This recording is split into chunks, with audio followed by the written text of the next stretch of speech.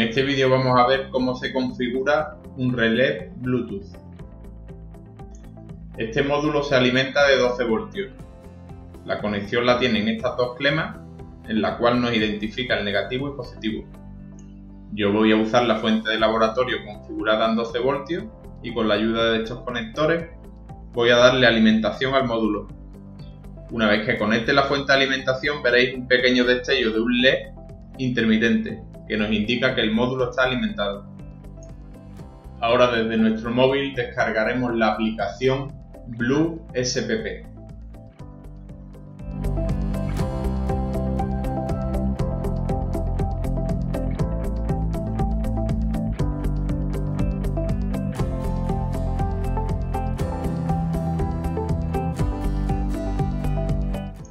Una vez instalada, nos saldremos al menú de ajuste, Bluetooth y buscaremos dispositivos disponibles. Nos debe aparecer el dispositivo del relé Bluetooth. Pinchamos sobre él, introducimos la contraseña que por defecto es 1234 y aceptamos.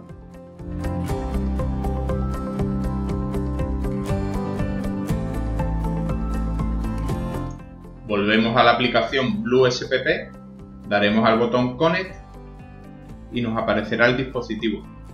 Pinchamos sobre él y establece conexión.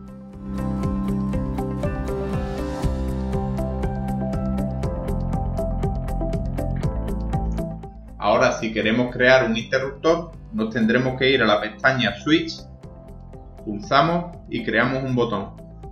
Para ello le tendremos que poner un texto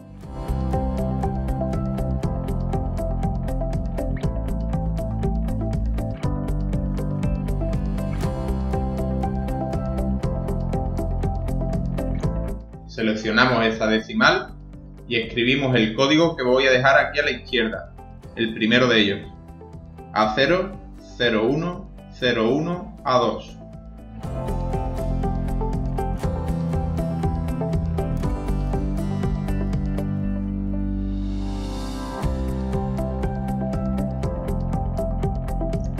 Ahora creamos un segundo botón de la misma forma. Introducimos un texto, seleccionamos esa decimal y copiamos el segundo de los códigos A0, 01, 00, A1. Una vez terminado damos a aceptar.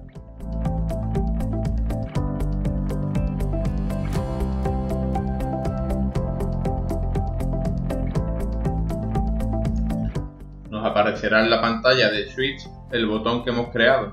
Solamente con pulsar encima de él vamos a cambiar el estado del relé.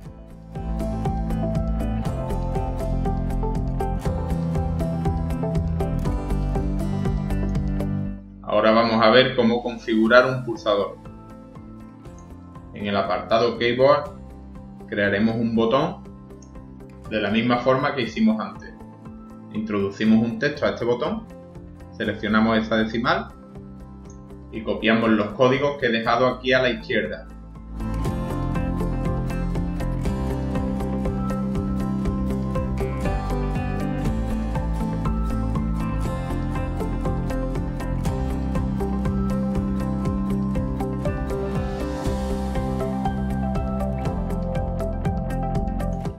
Al pulsar este botón realizaremos la función de un pulsador, es decir, va a cambiar el estado del relé, volviendo al estado en reposo cuando dejemos de pulsarlo.